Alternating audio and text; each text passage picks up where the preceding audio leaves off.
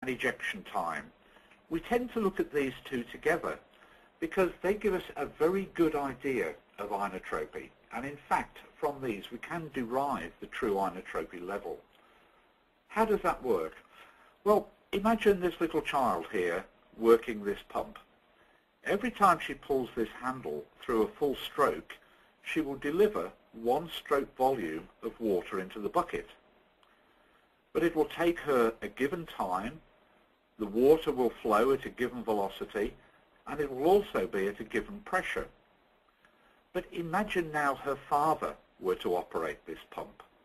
He would still deliver one stroke volume, but he would do it in a much shorter time, at a much higher flow rate, and at a much higher hydrostatic pressure, simply because he's more powerful. We can use exactly the same analogy with the heart. Finally, systemic vascular resistance. What this really boils down to is, is the circulation vasoconstricted or is it vasodilated? The normal is between about 800 and 1400. 1214 is plumb normal. An SVR that goes up means we have a vasoconstricted patient, a low SVR below 800, a vasodilated patient. Very simple. Okay, so you might say these numbers are all, all well and useful, but it takes so much time to get this data. Well, does it? With a little bit of practice, try this. This five-year-old girl is being measured using the suprasternal approach to the aortic valve. There you see stroke volume being measured with every single beat.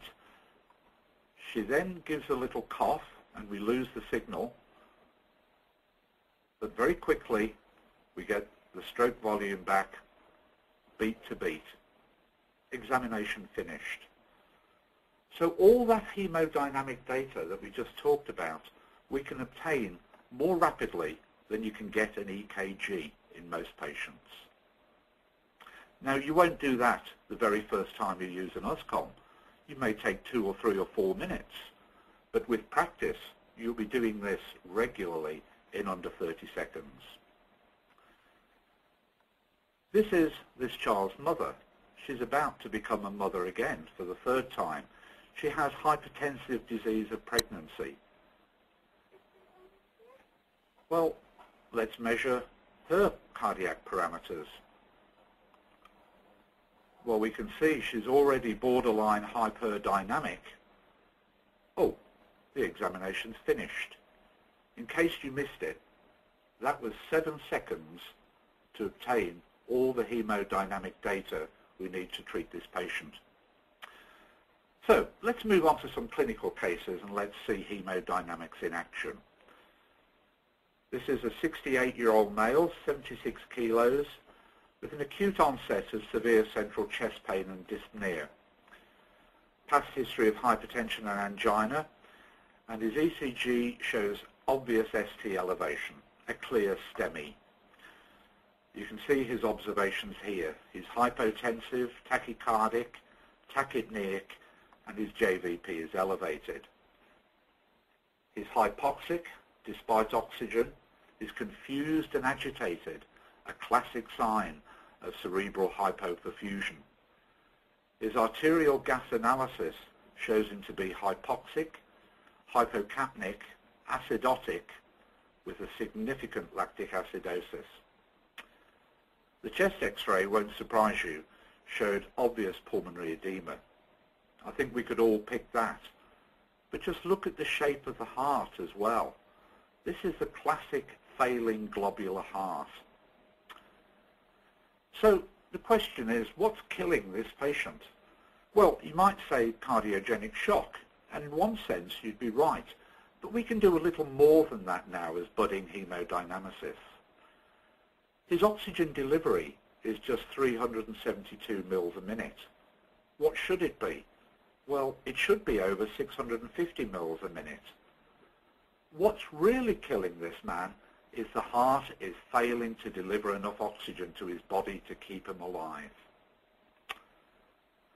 This is the trend trace of the USCOM, looking simultaneously at cardiac index, stroke volume, heart rate, and systemic vascular resistance. Well, what should the numbers be? Well, these are them. And if you like, these are our early goals of therapy. We need to get this cardiac index up to 2.4 litres per square metre per minute or better. We need to get this stroke volume up. We need to get the SVR down. This is four times normal. There is no heart on earth that can continue to pump against that kind of SVR and maintain normal circulation. So, what did we do? Well, we started him on dobutamine. And at 8 micrograms per kilogram per minute, his stroke volume went from a measly 20 mils to 31. Cardiac index goes up, but it's still not enough. So we increase the dobutamine, and the stroke volume goes up to 43. His cardiac index is now up to 2.3, getting close.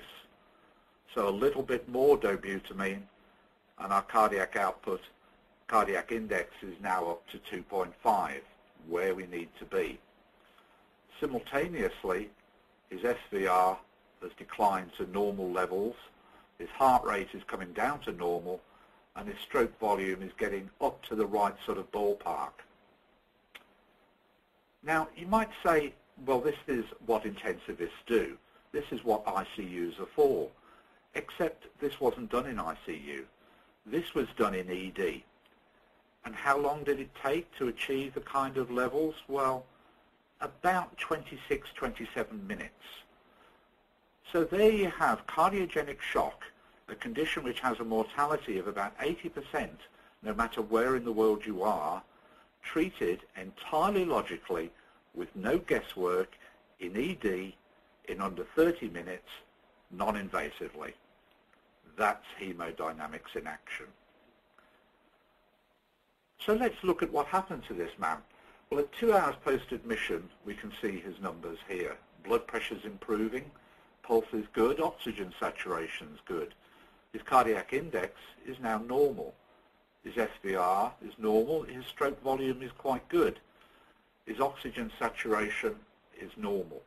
He's no longer acidotic and his lactate has dropped to normal. But what's really changed is his oxygen delivery. We've increased his oxygen delivery by nearly two and a half times. That's what's made the difference. His pulmonary edema resolved and he went for coronary angiography which showed triple vessel disease not amenable to stenting. And subsequently he underwent coronary artery bypass graft. But notice on the seventh day there was no urgency to graft this man's arteries. He was quite stable. He made an uneventful recovery and he was discharged on the 21st day with no symptoms. When I saw him at follow-up six months later, he was still well with no angina. Let's look at another case. 24-year-old female, very slim, fit and well, works out regularly in the gymnasium. Her only medication is the oral contraceptive pill. Brought in by ambulance as collapse, the patient was very confused with little history available, GCS 5 or 6. Her admission blood pressure was clearly hypotensive, but she wasn't tachycardic. She was pyrexial, she was slightly desaturating despite oxygen, and note this is a fit patient. Her respiratory rate is raised and she was sweaty. On examination, she had a right calf and foot which were visibly swollen and edematous.